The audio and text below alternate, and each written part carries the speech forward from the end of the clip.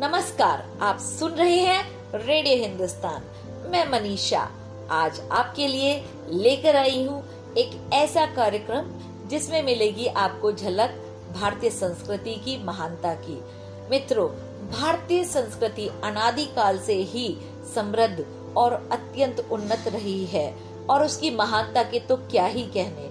लेकिन हमारा वर्तमान समाज, हमारी नई पीढ़ी और हमारी अपनी ही पीढ़ी, हमारी संस्कृति की इस महानता के सभी पहलुओं को नहीं जानती, अपरिचित है। तो आज उसी सोए हुए, खोए हुए पन्नों से मैं लेकर आई हूँ। गूगल बाबा से कुछ जानकारी अपनी इस भारतीय संस्कृति के बारे में। मित्रों, हमारे देश में भोलेनाथ के कई मंदिर हैं, जिनका इतिहास अलौकिक और अद्भुत है। इन्हीं में से एक मंदिर है जो बसा है केरल में। कहा जाता है कि यह मंदिर कैलाश पर्वत का प्रतिनिधित्व करता है और इसके दर्शनों के लिए श्रद्धालु दूर दूर से आते हैं। इस मंदिर का नाम है वडकुम नाथन मंदिर। इसमें स्थापित शिवलिंग का अभिषेक घी से किया जाता है। इसके चलते मंदिर का शिवलिंग हमेशा ही घी से ढका रहता है।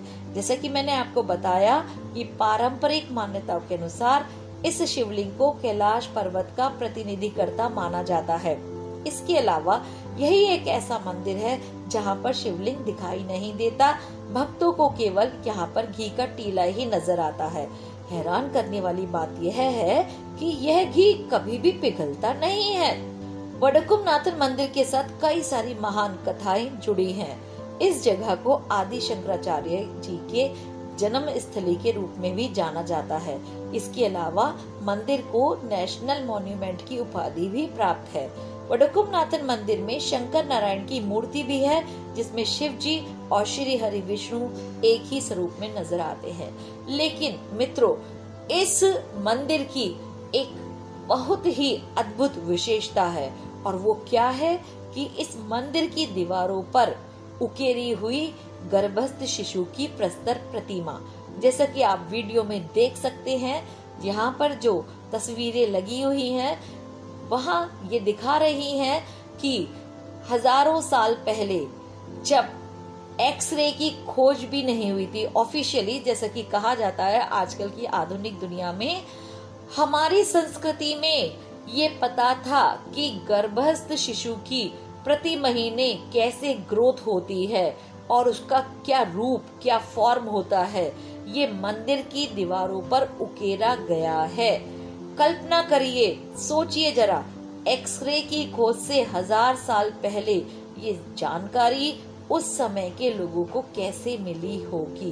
तो ये एक बानगी है, ये झलक है कि जो लोग हमारे धर्म, हमारी सनातन संस्कृति पर क्वेश्चन मार्क लगाते हैं, हमें रूढ़ीवादी कहते हैं कि हम कितने साइंटिफिक थे।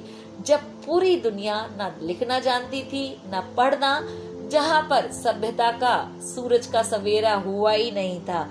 और हमारी संस्कृति हमारी संस्कृति विकास के सूरज से नहाई हुई थी।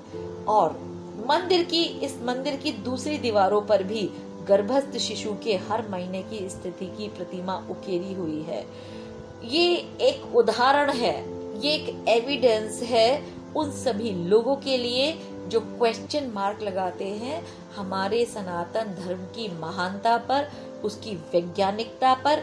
तो सनातन धर्म संसार का सबसे प्राचीन, पहला और आखिरी वैज्ञानिक धर्म है। धर्म कहे या जीवन शैली, ये आप कहे डिसाइड करिए। सनातन ने ही विश्व को विज्ञान दिया और आज का विज्ञान सिर्फ़ एक शिशु है। शिशु है हमारे सनातन धर्म की वैज्ञानिकता के आगे। हमारा धर्म, जो हमें जीने की कला सिखाता है, हमारे चार वेद, जिनमें छिपा हुआ है सारे संसार का ज्ञान का सार, सारे ज्ञान का सार। अर्थशास्त्र हो या व्याकरण, दर्शन शास्त्र हो या चिकित्सा शास्त्र, कुछ भी, किसी भी प्रकार का ज्ञान हो उन सभी का सार, उन सभी का स्रोत, उन सभी का उद्गम स्थल हमारा सनातन धर्म ही है। हमारे ऋषि मुनि, जो कि वैज्ञानिक थे और अनुसंधान करता भी थे, और उन्होंने अपने जीवन दर्शन से, जीवन के समग्र पहलुओं को हर तरीके से बताया और ज़रूरत है तो हमें उसे फिर से जानने की उससे जुड़ने की। मेरी बात पर आपको भरोसा ना हो तो विज़िट करिए, इस मंदिर में खुद देखिए, वीडियो में ये तस्वीरें आप देख सकते हैं। तो दोस्तों, आपको ये जानकारी कैसी लगी? कमेंट बॉक्स में लिखकर बताइए। मिलती हूँ आपसे एक नए कार्यक्रम के साथ, एक नई खोज के साथ। तब तक सुनते रहिए रेडियो हिंदुस्तान और करते रहिए अपना काम।